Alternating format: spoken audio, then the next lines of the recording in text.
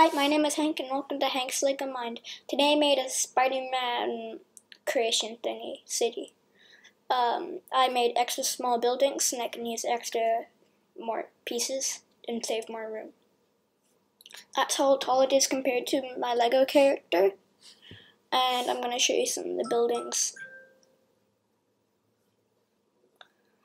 Um, that one's a special brick because it's like a 4x2 brick that has a hole in it.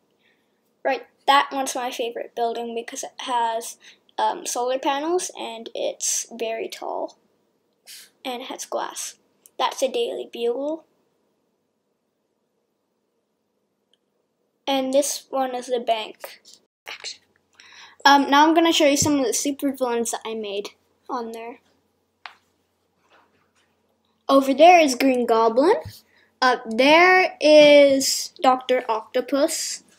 It's probably not very realistic. There's um, Sandman.